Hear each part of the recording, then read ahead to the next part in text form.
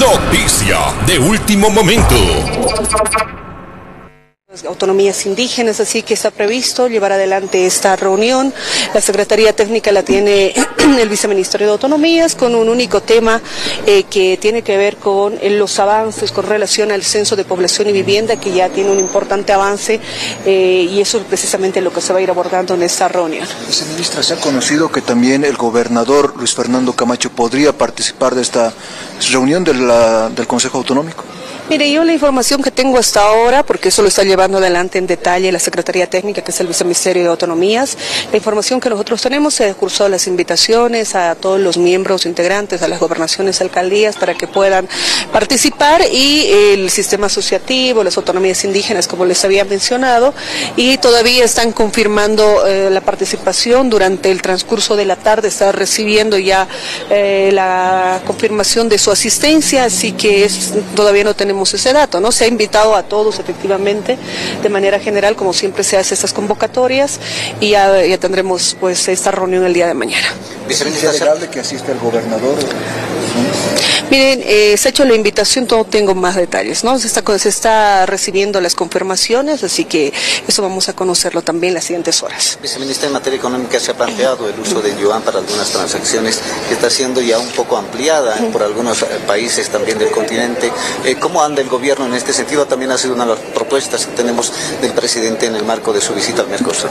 Lo que ha señalado el presidente en el marco de la visita al Mercosur, en el marco de su visita a este evento, y es importante aclararlo, es reducir la dependencia del dólar y diversificarnos eh, eh, precisamente en otras opciones. Ustedes saben que eso es lo que se ha planteado para ser eh, concretos, pero también ya en varios encuentros con medios de comunicación, con ustedes mismos, el presidente ha hablado del yuan, pero como una alternativa, no, no se ha hablado del reemplazo, que ese no es el escenario, sino y ha planteado precisamente el yuan como una alternativa más, porque ya se están haciendo transacciones en el mundo e incluso acá eh, por el reporte que hemos ido viendo. Entonces, ese es el escenario que se está viendo, reducir la dependencia es lo que se ha, se ha señalado, diversificarnos y ahí se tiene a China también como una, como una opción y el yuan es una alternativa. Eso lo dijo en, en reiteradas oportunidades y en contacto con los medios de comunicación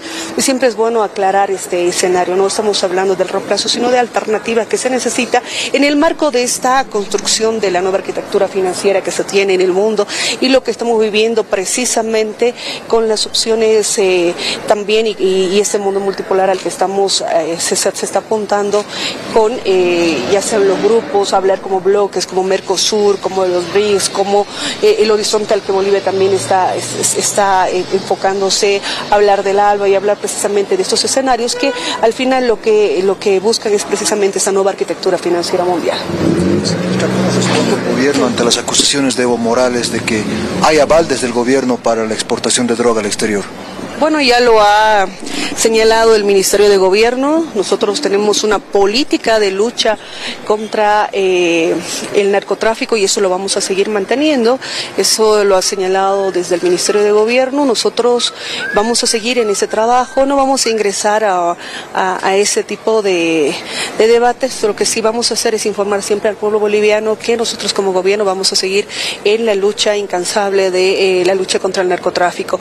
Toda denuncia que se tenga como lo ha dicho el viceministro Mamani en su momento, tiene que presentarse en el escenario como corresponde, ante la instancia, las pruebas, porque nosotros estamos eh, con esa lucha firme, eh, nacional e internacional, de eh, seguir en ese trabajo de lucha contra el narcotráfico. Y vamos a ser implacables en, en esa tarea y es una instrucción que nos ha dado siempre nuestro presidente, así que estamos enmarcados en ese escenario. ¿Puede asumir alguna acción contra Evo Morales por estas calumnias?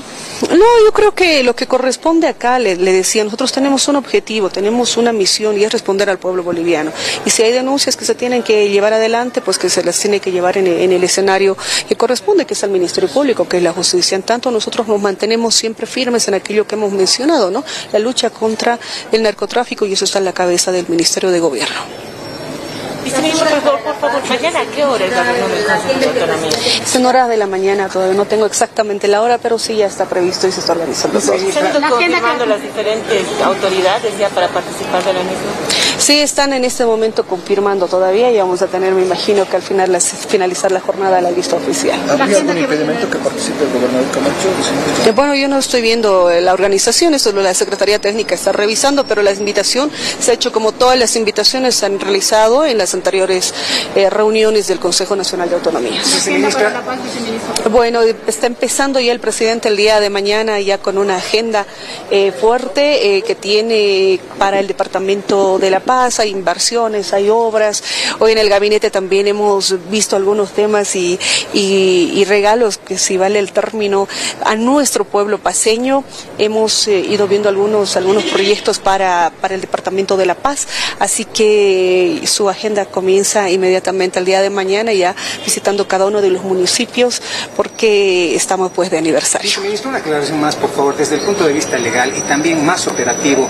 ¿Es factible la presencia del gobernador cruceño que está en Chochocó en una reunión de- del Consejo de Autonomías?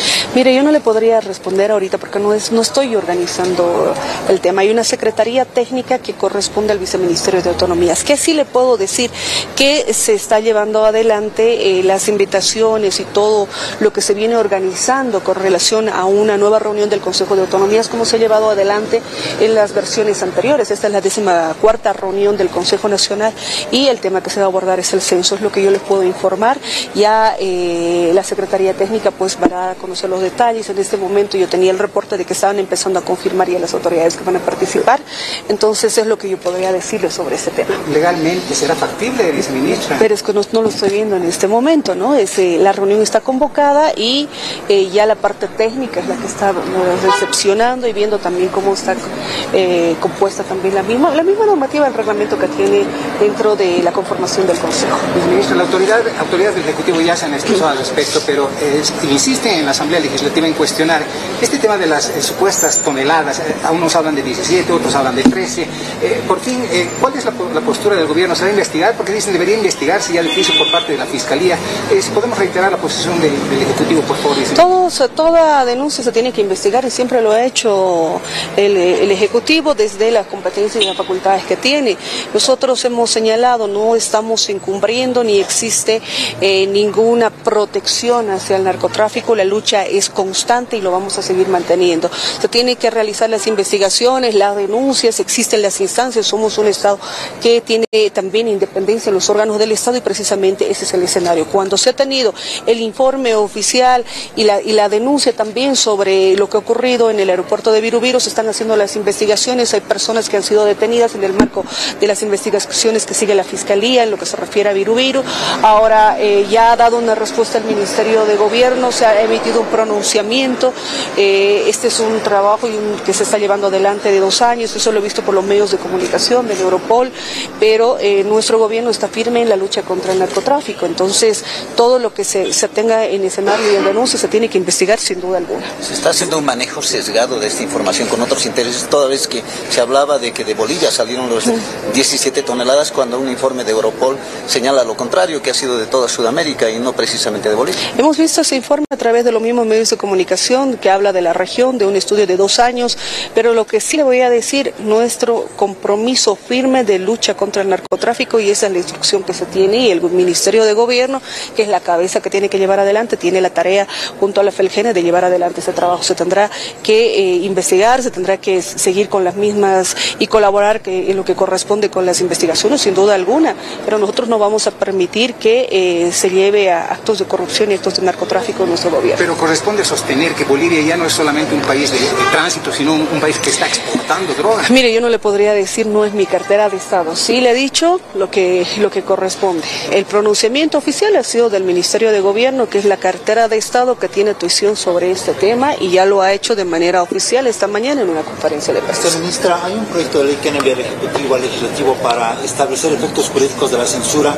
¿Hay o no hay eh, prioridad para que se trate este tema, por favor, teniendo en cuenta lo que ha sucedido último con el ministro de Gobierno, por favor? Bueno, eso está en la, en la Asamblea Legislativa, ¿no? Como muchas otras normativas. Hemos visto que hoy se ha aprobado una que tiene que ver con eh, las carreteras eh, y, y las vías para el Departamento de La Paz. Eso no- no- nos complace. Hay muchos temas que tendrán que abordarse, pero es una agenda que tiene la Asamblea Legislativa. Nosotros en lo personal, si me pregunta, a mí me preocupa mucho el tema de eh, la imprescriptibilidad de los delitos sexuales hacia la niñez, tenemos las modificaciones a la ley 348, tenemos eh, el refuerzo para la lucha contra la corrupción, entonces hay muchas normativas que tienen que ser aprobadas y nosotros esperamos de manera responsable que nuestros asambleístas vayan agendando porque hay que responder con trabajo a nuestra población. En el tema de las conjeturas que ha creado el tema de interpelaciones, lo último, ¿no sería bueno darle celeridad y acabar con ello? Es una tarea que tiene que hacer la Asamblea, por eso le digo, si me pregunta en lo personal, a mí me preocupan estos temas, pero es parte de la agenda que tiene nuestra Asamblea Legislativa. Muchas gracias. ¿Hay fecha para el, el Cabildo que ha convocado el Pacto de Unidad? No, todavía no, no conocemos todavía ninguna fecha. Mm, no, bueno, ha salido de un pronunciamiento de las organizaciones, ¿no? Tendrá la cabeza precisamente las organizaciones. Se ha revelado que Evo Morales habría pedido o había instruido a Juan Carlos Guarachi que pida la renuncia el 2019. ¿Cómo analiza esto el gobierno? Se está poniendo en duda incluso el caso golpe de Estado, está pidiendo Janine Áñez y Luis Fernando Camacho su liberación. Más bien sobre eso último que me dice, más allá de que se pida, no se pida, que se haya generado aquello, creo que no tenemos que perder el, el horizonte en lo que ha ocurrido en nuestro país. Y lo que ha ocurrido en nuestro país es un golpe de Estado porque ya se tenía la, eh, ustedes recuerden, estaban como periodistas y yo les decía en lo mismo en una entrevista que tenía hace instantes, el 8 de noviembre ya había un motín que empezó en el autop en Cochabamba, luego se ha empezado a desencadenar una serie de, de sucesos, la renuncia que es por, por horas que, surge del señor, eh, del señor Calimán y luego recién viene el tema de eh, la Central Obrera Boliviana. Y eso yo les estoy diciendo en el orden cronológico porque yo también estaba en cobertura.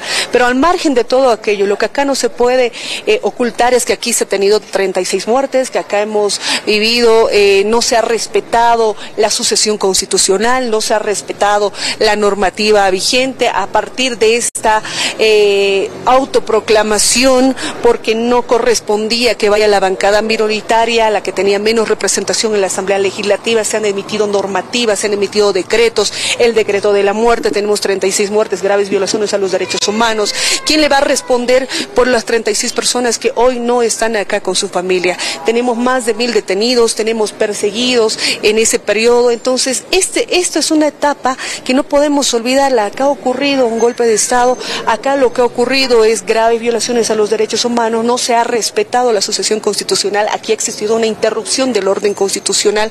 Entonces, eso es lo que se está investigando. Acá ha llegado un grupo de expertos independientes, ha tenido contacto con las familias. Esto es dentro de un proceso democrático para nada. Aquí ha existido un golpe de Estado y eso no está en duda.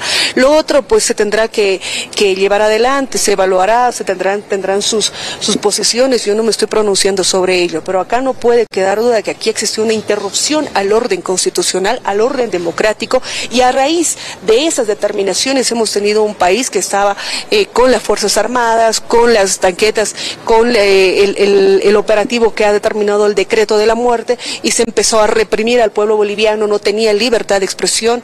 Yo como periodista, recuerden ustedes, había un decreto que han tenido que retroceder, no podíamos expresarnos en los medios de comunicación y además hemos tenido más de mil detenidos perseguidos sin el mínimo respeto al, al debido proceso.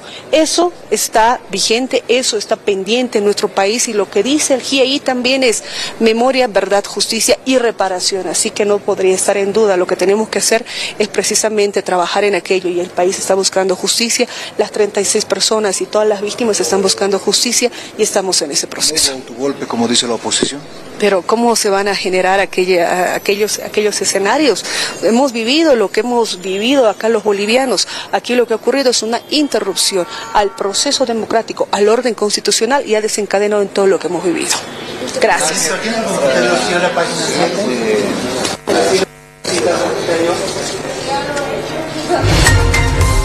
DTV HD Red Nacional. Noticia de último momento.